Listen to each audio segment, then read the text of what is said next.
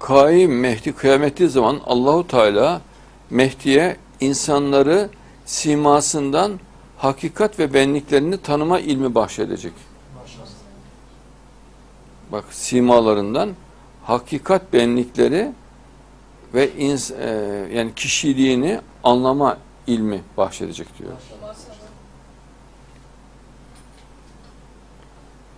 Yani bu kişinin hakikati nedir, benliği nedir, kişiliği nedir onu anlayacak diyor. Bak konuştuğunda diyor.